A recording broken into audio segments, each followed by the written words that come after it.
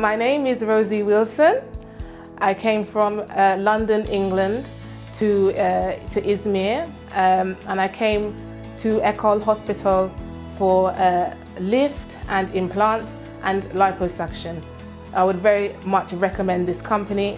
I had the best experience and my surgery looks, everything looks perfect. Operation process was very good.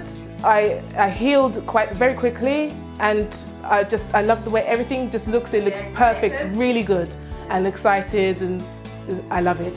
Uh, my doctor is Dr. Anil.